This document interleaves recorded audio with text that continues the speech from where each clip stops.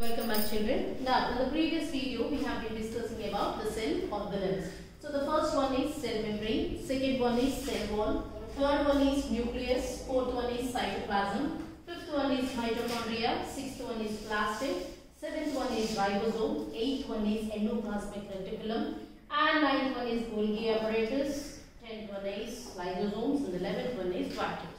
So these are all the cell organelles present in each and every cell except prokaryotic cell. So in the previous video we have discussed about the differences between eukaryotic cell and prokaryotic cell. Okay and now let us start discussing about mitochondria. In this video we are going to discuss about a special cell organelle present in each and every cell. Almost all the cells will possess mitochondria. Why it is called as power powerhouse of the cell? What is the role of mitochondria? What will happen if mitochondria is not there in our cell? Everything will be discussed in this topic for you. So, meet you back children. Now listen here properly. Now mitochondria. What is mitochondria? So, the special cell organelle present in the cell. Present in the cell. So, when you observe mitochondria in a normal compound microscope, it will be observed as just green color. Over cylindrical grains will be scattered in the cytoplasm. Did you get my point, ma? Some green color oval or cylindrical grains will be scattered in the cytoplasm. That green colored cylindrical grains are called as mitochondria. What is that called, ma? Mitochondria. So, before we go to the mitochondria, how to observe mitochondria? How to know whether the cell is having mitochondria or not? What is the internal structure of mitochondria?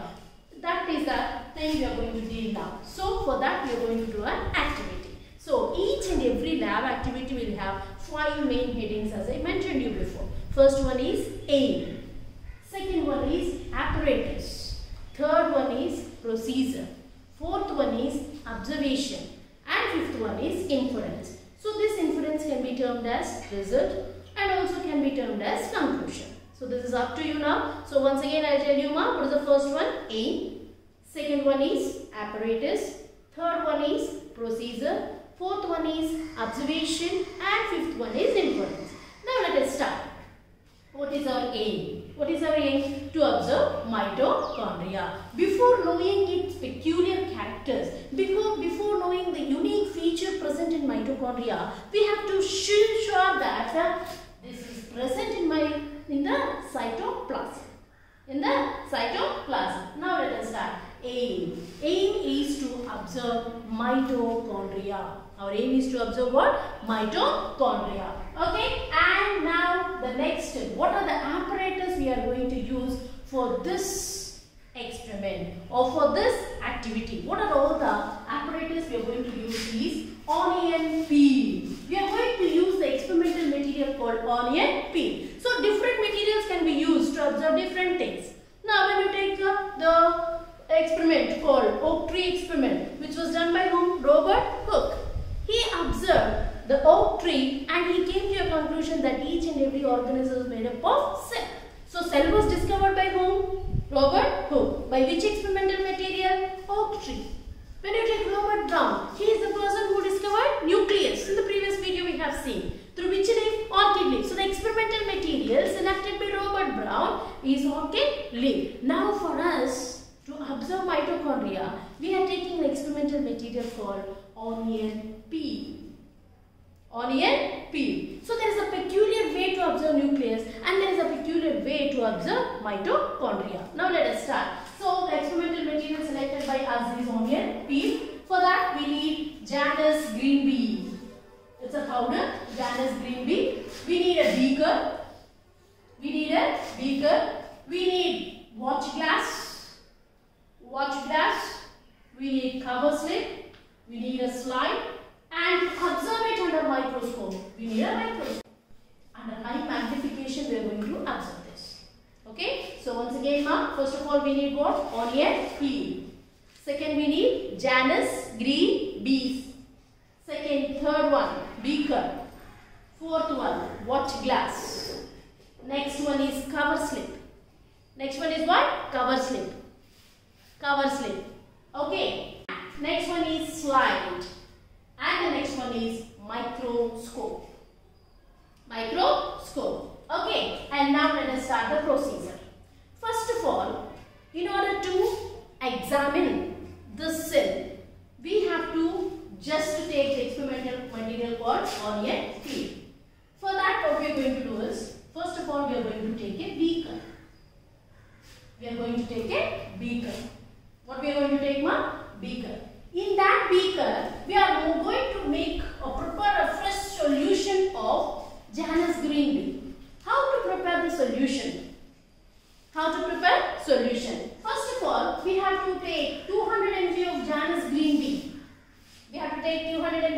Of Janus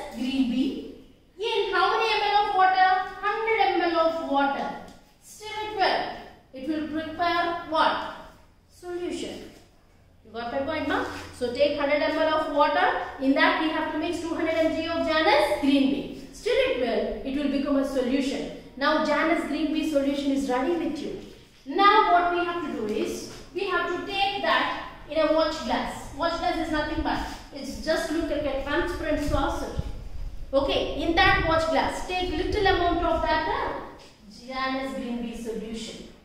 Janus green bean solution. In that solution, we are going to keep this onion peel. We are going to keep this onion peel. First of all, take that, take that watch glass. In that, you pour this solution, not all the 100 ml, little amount of solution you are going to pour in this, pour in this, what is this? Watch glass. Okay, so now you take onion peel what you have selected and keep it in this solution for about half an hour. That means in 8th class you have done an experiment on matchstick. On matchstick. To observe dead cells, what did you do? You have soaked, you have soaked what? Matchstick in water for half an hour. Now, we are not going to observe the cell. We are going to observe the mitochondria present in the cell. So, we are not using water alone, but we are using a solution prepared by Janus Green. Okay, ma? So, now you got the difference now. So, in this watch glass, what you are going to do? You are going to pour this solution and now we are going to keep this onion peel what we have selected in this for how many hours? Only for half an hour. Later on, take a slide. Take a slide. Take a little amount, a tiny piece from the soaked onion peel. From the soaked onion peel. Now just take a small part from that. Keep it on the slide. Wash it thoroughly with the water. After washing it thoroughly, cover it with the cover slip. Cover it with cover slip. And now you have to observe it under microscope. You have to under, observe it under microscope. When you observe it under microscope, when you observe it under microscope, you will find green colored over granulates where scattered in the cytoplasm of the cell. That structures are nothing but mitochondria. That spots are what? Mitochondria. So this is to show how to observe mitochondria.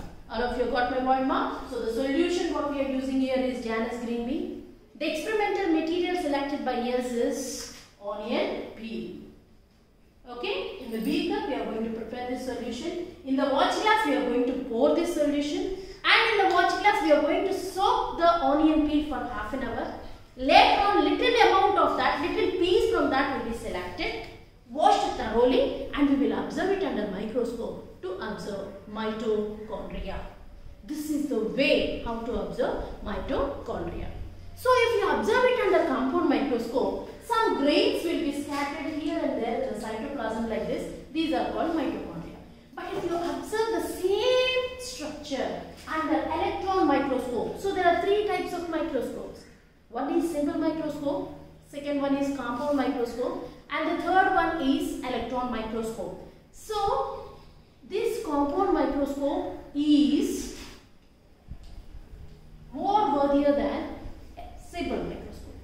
When you take electron microscope, this will magnify, this will magnify any object, any substance or any substance whatever you take for about 10,000 times. When you take compound microscope, it will magnify for 300 times. Whereas when you take electron microscope, it has the power of magnifying mechanism a substance or magnifying any other organelle for how many times? 10,000 times. Now, when you observe it under electron microscope, you can observe a structure like this. This is the exact structure of mitochondria. This is the exact structure of what? Mitochondria. So, this is the structure of mitochondria. Okay ma? So this is called the powerhouse of the cell present in almost all the eukaryotic cells. In the previous video we have discussed about the differences between prokaryotic and eukaryotic. So this is the structure of mitochondria. Okay and for your convenience I will say you that there are two membranes. This will be considered as one membrane. This will be considered as another membrane. This is outer membrane and this is inner membrane. See here now this green color structure is called as outer membrane. And this inner structure inner wall structure okay? This is having an yellow shade this is called as what? This is called as inner membrane. So outer membrane is soft whereas inner membrane is not as soft as outer membrane. It is thrown into folds. It is thrown into folds i hope all of you are observing very clearly okay so this is soft this is outer membrane and this is inner membrane which is thrown into folds. These folds are called as cristae. These folds are called as what ma? Cristae. So I am drawing only the folds just did see here ma. So the folds will be like this. This is the inner membrane. In this folds some fluid will be flowing. This fluid is called as matrix. This fluid is called as what? Matrix. The fluid flowing between these two membranes called cristae is called as what? Matrix. And in that matrix, small dots will be present. Of course, in your higher classes, not now. Okay. These are called elementary particles. So this is a clear structure, unique structure. You can observe it under electron microscope. So once again, only four points now. This is outer membrane. This is inner membrane. Outer membrane is soft, inner membrane is not soft. It is thrown into folds. This is double membrane and these inner folds are called as cristae. They are arranged in zigzag fashion. Okay. And in the midst of this cristae, a fluid will be flowing and that fluid is called as matrix. And in that fluid, small particles, small granules will be present that are called as what? Elementary particles. This is the internal structure of mitochondria and this is called powerhouse of the cell. Why it is called powerhouse of the cell? Now I will explain. Before that, please be sure that, that you are perfect in this structure of mitochondria. In the examination point of view, this is a very, very, very, very important concept even for the diagrammatical part that is AS5. Okay, so they'll ask you to draw the diagram of powerhouse of the cell. If you draw Gangur power plant, you will get good decimal. Powerhouse of the cell means what? Mitochondria. Okay, not Sriharikota. Understand? Right? Now let us start the features present in what? Present in mitochondria. So as already I have mentioned you, it is what? Green. Oval or cylindrical grains will be scattered in cytoplasm grains are nothing but mitochondria. The grains are nothing but what? Mitochondria. Okay, they are very small. They are very small. They are spherical like this. They are cylindrical like this. They will be scattered here and there in the cytoplasm. Okay, and what is the length means? It is only just 2 to 8 microns the length of mitochondria, the length of mitochondria, it will not be this much big. For your convenience, to show you the internal structure, this was designed like that. But this much big mitochondria will not be there in your cell. Most probably, cell also cannot be seen by your naked eye. Okay? So, how much long are 2 to 8 microns long. And how much width? How much width means it is only 0.5. It is only 0.5. And you can say this is how much smaller means nucleus. When you compare nucleus like this, this is 150 times smaller than, smaller than, how what? Nucleus. How many times smaller? 150 times smaller than nucleus. How many times smaller? than? 150 times smaller than nucleus. And you need not take that. So each and every cell will have nucleus. Only one nucleus will be there. As like that, you need not think that mitochondria also will be one or two. No. For each and every cell, there are about 100 to 150. In each and every cell, how many nuclei, how many mitochondria will be there? 100 to 150 mitochondria will be present. So, when you observe it under compound microscope, you can find a different structure. When you observe it under the electron microscope, you can find a different structure. When you observe it under compound microscope, it is only dots as we have seen here. It is only just dots like this. But when you observe it under compound microscope, you will find the structure like this. You got the reference ma? As it is able to magnify for 10,000 times, it is seen like this under electron microscope. Okay, so in the electron microscope if you observe it's a double membrane wall. So this is inner outer compartment and this is inner compartment. This is outer membrane and this is inner membrane. That is why we are saying double membrane wall. Double membrane wall. And the inner membrane is having pores. You can see these are the pores ma. So these folds are called as what? Cristae.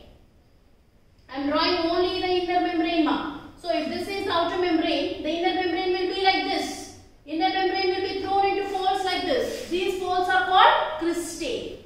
Cristae. Okay. And the fluid flowing in between this cristae are called as matrix.